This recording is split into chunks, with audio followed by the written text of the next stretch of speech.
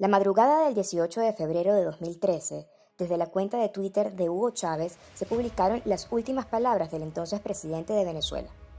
Poco menos de un mes después, su gabinete, encabezado por el vicepresidente Nicolás Maduro, anunció su fallecimiento.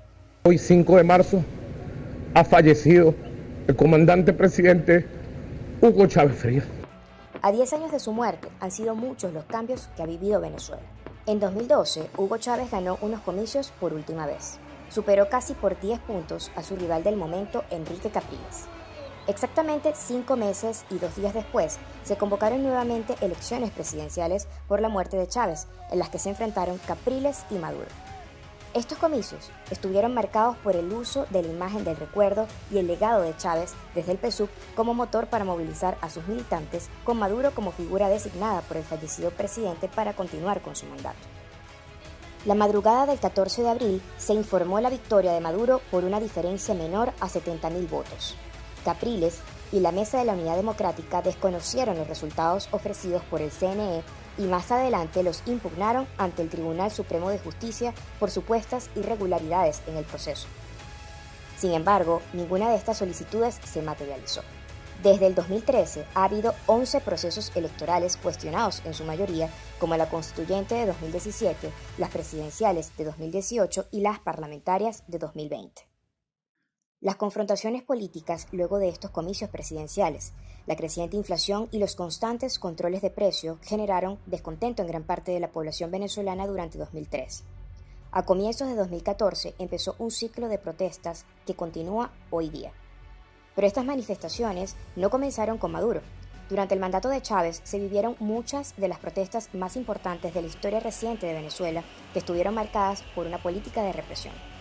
La masiva protesta del 11 de abril de 2002, que culminó con la masacre de Puente Llaguno, el paro petrolero en diciembre de ese mismo año, la huelga de hambre de Franklin Brito, el cierre de RCTV en 2007, fueron parte de la cadena de descontento contra Chávez y su proceso. El uso excesivo de la fuerza contra los manifestantes no se detuvo luego del fallecimiento de Chávez, todo lo contrario.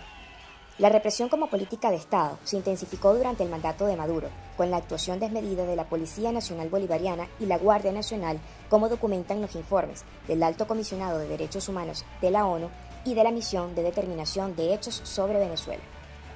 Basilda Costa, Robert Redman, Geraldine Moreno, Juan Pablo Pernalete, Neomar Lander o Xiomara Scott forman parte de las 276 personas que murieron en el contexto de las manifestaciones entre 2013 y 2019, de acuerdo con datos de la ONG Provea.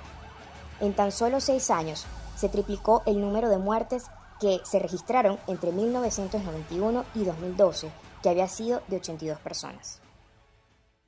El venezolano no solo ha tenido que vivir los últimos 10 años en un país políticamente inestable, durante la administración de Nicolás Maduro, el país experimentó la mayor crisis económica más el desabastecimiento de alimentos y otros productos básicos. Pero este proceso tuvo su germen en la política económica durante el gobierno de Hugo Chávez, signada por las expropiaciones, la nacionalización de las empresas básicas, el constante enfrentamiento con la empresa privada y la dependencia del petróleo.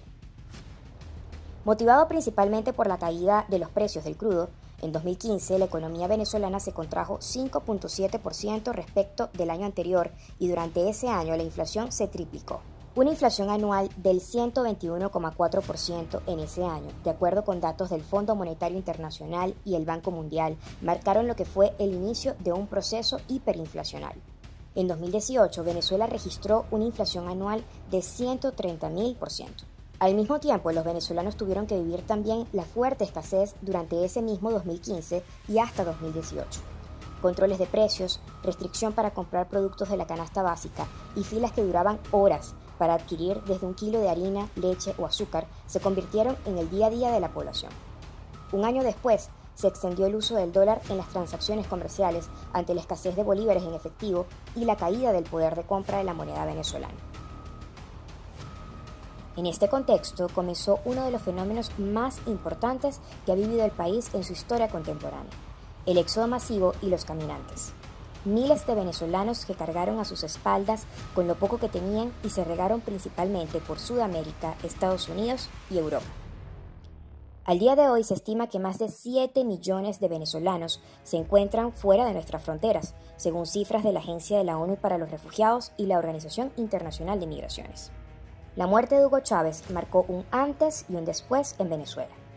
Sus programas económicos, sociales y políticos abonaron, años después de su deceso, la emergencia humanitaria compleja que impactó a la población venezolana bajo el gobierno de Maduro y se tradujo en el aumento de los apagones, el desabastecimiento de alimentos, la caída de la producción de las empresas básicas y un incremento de las violaciones a los derechos humanos.